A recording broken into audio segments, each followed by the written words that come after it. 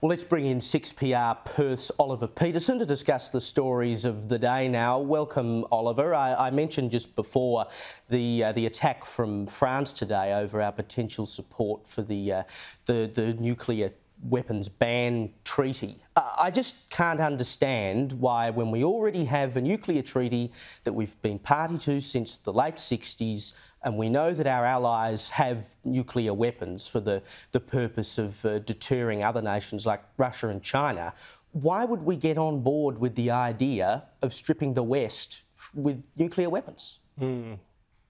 Yeah, it's interesting, isn't it, Caleb? It's rather awkward because, you know, when we dumb it down, we've got good guys and we've got bad guys who hold nuclear weapons. And as you so eloquently put in your editorial this afternoon, uh, some of our major allies are the holders of these nuclear weapons. And with the, the current state of international relations, we want those people or those countries on our side and on our team in case we mm. one day have to call upon it. I don't think there's any any need to sign up to the treaty. I think the Prime Minister is going to try and push this one out as far as possible. I think that I think that the uh, concerns being raised by the French are completely stating the obvious here, and they're probably trying to needle a couple of years on the fact that we dumped their submarines mm. for nuclear submarines. So it's a bit of a nuclear kind of day, isn't it, Caleb? Because we heard Mr. Holmes Court as well talking about nuclear energy, but say not the Liberals type of nuclear energy. There's some sort of nuclear energy we should talk about somewhere in the future. I know. I'll, I'll talk a bit uh, about that later in the show. But you know, it, it is good to see though uh, green advocates, you know, finally starting to come around to the idea of nuclear energy and admitting that it's not the bogeyman we've been told it is. Um, moving on to the voice, we've got less than two weeks to go now until the, the Voice to Parliament referendum, and many Australians are heading to the polls early, uh, voting from today. I think early voting open today in Victoria, the NT, Tasmania, and Western Australia, and then you'll have Queensland and New South Wales will join on tomorrow. Here was the Prime Minister out spruiking the voice again today? Well, I'm optimistic that when Australians focus on what the actual question is, what we've had is a whole lot of disinformation uh, out there. I know a lot of people have not made up their mind, and what I know is that the feedback when people talk through uh, these issues, uh, they uh, arrive at a yes vote pretty comfortably. And so I sincerely think the key to the next fortnight is those one on one conversations.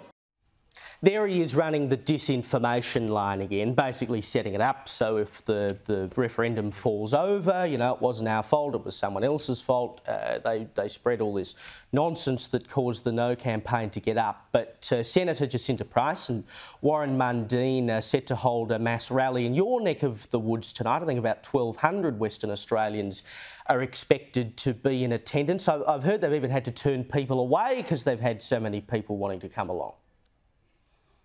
Yeah, and so many questions still, Caleb, that are being asked by plenty of Australians are exactly what is within the detail of the voice. And you, the Prime Minister can't stand up and say the disinformation. Well, he's had an opportunity now for months to answer a bunch of those questions. Uh, you're right, Senator Price and uh, Warren Mundine will be leading that uh, launch of the No campaign here in Perth again this evening.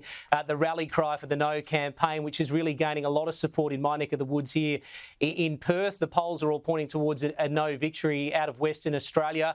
Uh, but I think think probably what most Australians want, Caleb, is the, the next two weeks to, to pass as quickly as possible yeah. so that we can have a result one way or the other. I think everybody's probably getting sick and tired of hearing, you know, the radicals on the left or the radicals on the right, and they just want to cast their votes. Uh, but what will be left of that and picking up the pieces, I know we're not going to stop talking about it in two weeks. It's going to continue for many, many months. And mm. what sort of a country do we live in in two weeks' time, Caleb? Will be really interesting uh, the way that uh, this plays out over the next two weeks and exactly how far both sides of the campaign campaigns on those fringes uh, mm. will go to, to spread that misinformation the PM speaks of.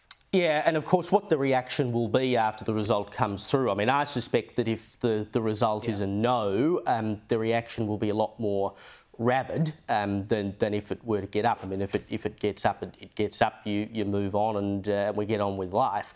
Um, but it's interesting to, to see the, this positivity that the Prime Minister continues to exude. And uh, obviously, you don't want to get up and say, oh, well, it, it's all over. That's rule 101 of campaigning.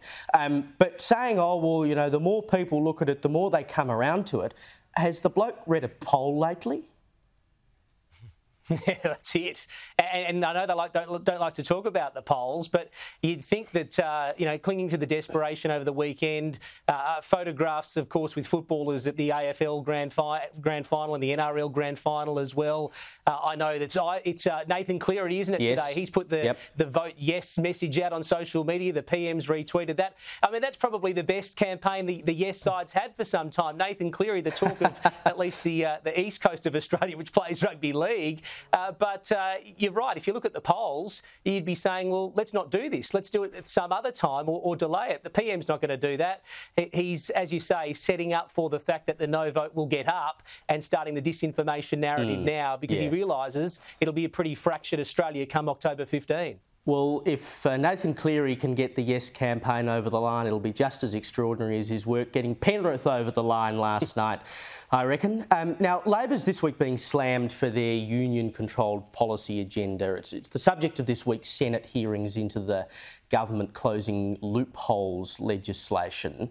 Um, so, we're talking about the, the IR laws here, right? Does Business have a right to be concerned about this because we've seen a, a suite of measures come out. Uh, we've had Tony Burke talk about, for instance, people who work in you know things like Uber Eats and all that sort of stuff being entitled to the mm. same things as a, a full or part-time employee in terms of pay entitlements, leave entitlements, etc. And then at the same time, you've had this employment white paper come out, which makes all these great suggestions mm. about how we get more people working at the same time as we're told that we need unemployment to go up in order to curb inflation. It all seems like a bit of a mishmash to me. Yeah, it is a mishmash, but I think Caleb, you know, ultimately nobody wants any Australians to be ripped off or be underpaid. But uh, this idea of having a standardised payment across all sectors, across all industries, uh, you, have got to have some sort of competitive advantage. It's got to mm. be an employee-employer relationship to to battle it out to be able to land the job, to be paid the money you want to be paid. And I note as well the TWU is quite concerned that owner-operator truck drivers as well might be made a mess of in these IR laws. So watch this space. It's not all about big business. Uh, unions are a little worried as well. Mm, Oliver Peterson, thank you so much for joining me.